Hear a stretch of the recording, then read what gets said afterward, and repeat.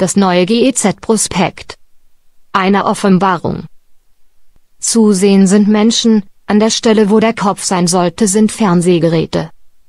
Was will uns die Gebührenzentrale damit nur sagen? Das Denken überlass lieber der Glotze, die hat den größeren Kopf. Beziehungsweise. Das Denken überlass lieber dem Radio, es hat den größeren Kopf. Im beigefügten Brief steht dann noch. Bei uns erhalten Sie umfassende, unabhängige und glaubwürdige Informationen zu allem, was wichtig ist. Anders ausgedrückt, Sie entscheiden, was wichtig ist. Was Sie nicht senden, ist weder wichtig noch real. In der Überschrift steht.